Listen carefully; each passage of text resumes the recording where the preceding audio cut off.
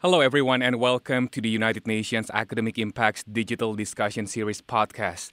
Today, we continue our series on the International Year of Sustainable Tourism for Development. We will be speaking to Diane Lion Giustiniani, who is the manager of Bambu Indah Hotel in Bali, Indonesia. Bambu Indah, or Beautiful Bamboo, is a sustainable hotel that is located in Ubud, Bali, that combines the use of restored antique houses with new structures built with sustainable bamboo. Bambu Indah was founded in 2007 by John and Cynthia Hardy. Since its opening, the hotel has been consistent with using local bamboo as the main material for all of its architectural designs. The UN Habitat considers bamboo as a green material, which can be quickly and easily cultivated as well as treated without complicated techniques or tools. Hello, Diane. How are you?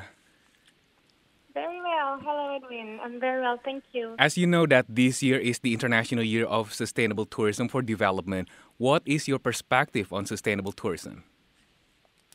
Well, sustainable tourism is considered as um, a value that every person that is involved in tourism sector should be considering with um, a lot of care. Um, as managing Bambu Indah, it's really part of our core values and um, it's part of our daily management, our, our passion as well, and what value we want to share with our teams and guests and the people that we're welcome, welcoming in the in the hotel. Um, it's becoming more and more important nowadays, um, as it should be, because as a mass industry, the tourism also impacts um, many different in many different ways, and not always in the best ways. The different cultures and countries and people that um, the tourism is involving with. Okay.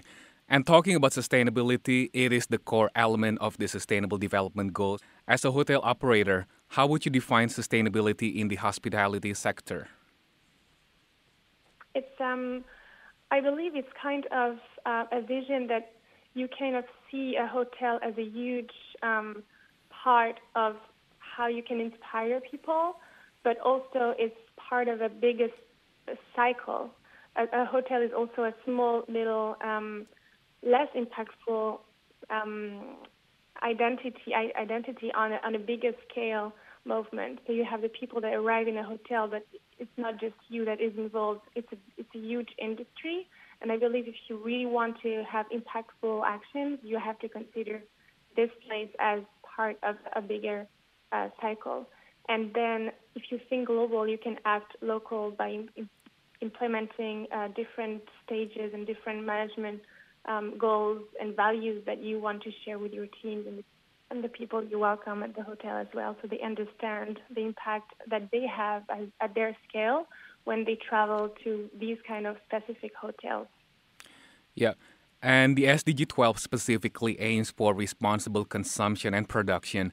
The hospitality industry, as we know, entails consuming practices such as water and electricity. What does Bambu Indah Hotel do to save water and energy?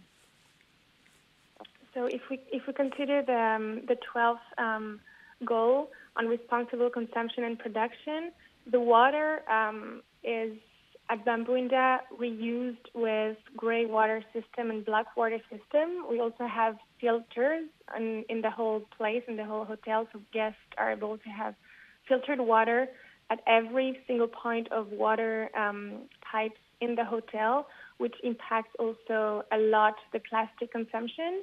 We're a plastic-free hotel. No plastic bottles are actually used by either our guests or our teams um, or the restaurant.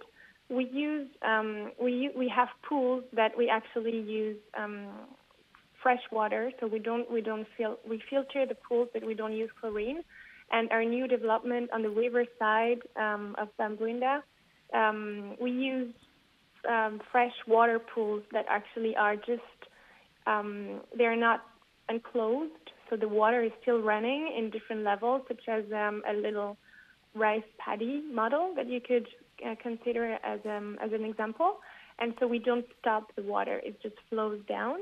Um, and as responsible consumption and production, the biggest impact that we have also in the hotel would be if you consider sustainability as a big cycle, you can also consider your consumption as such. And so we have food gardens. We grow only food all around um, the different gardens of Bambu Indah.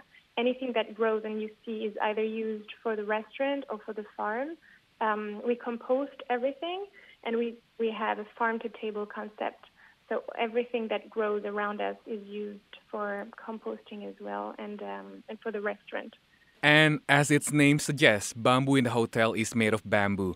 What inspired the hotel's owners to open an eco lifestyle hotel made of bamboo? So initially, um, the first uh, units that we had at Bambu Indah were made of recli- reclaimed wood um, and designed by the owners.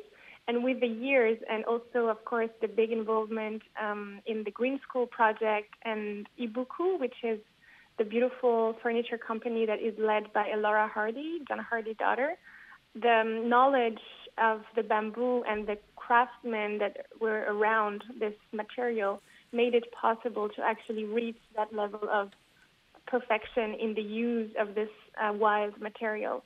So I think the experience um, and the, um, the decision of John Hardy to never use, never cut a tree again, to be true to his true vision of sustainability, made it plus the, um, the knowledge of the bamboo and the experience of using it as an architectural material made it possible to actually design um, beautiful, uh, architecturally challenging, and um, welcoming, comfortable hotel rooms. And also, the hotel won the HICAP Sustainable Operations Award in 2013, which is annually given for Asia Pacific hotel operators that demonstrate exemplary sustainable practices. What practices the hotel applies made it stand out and win the award?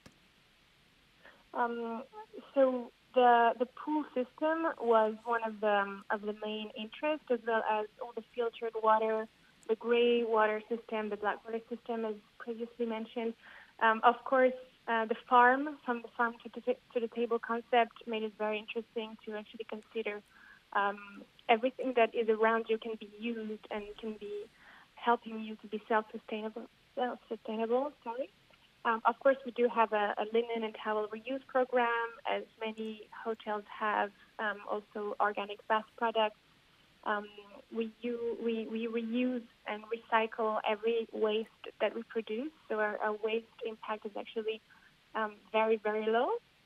And um, of course, the design of the of the ground itself was turning out because if you were to take out the different houses and the different hotel parts, um, the land would grow again back to what it was because the impact when the, the when the hotel was built slowly, the impact on the ground and on the landscape was very very minimum.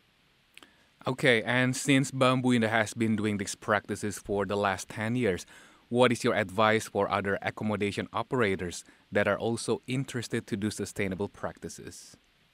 a lot of people think of sustainability as standards that they should apply to their hotel uh, in terms of material and architecture.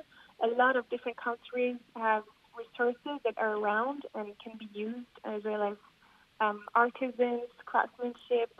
Um, so these are actual assets that have to be considered. And of course, if you want to think of more standard operations, um, that can be done at the hotel is always about reducing energy, how to how to prevent um, loss of energy, how to use sustainable and re- renewable energy, but also consider every space of a hotel as a possible um, place where you can rethink and innovate, such as gardens, which in most hotels are just here to be beautiful. If you transform these this huge space into something that will produce food, that will produce value for the, the team and, and work um, for the people that are involved in such a project, you can actually start building up your own vision of what it is to be a sustainable destination. Great, wonderful. And last question is about the SDGs.